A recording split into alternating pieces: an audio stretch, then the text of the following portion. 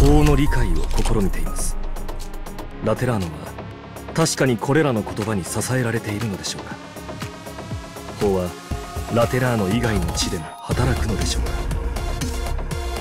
私自身ある程度の影響を受けていることは認めねばなりません。できるだけ早く結論を出します。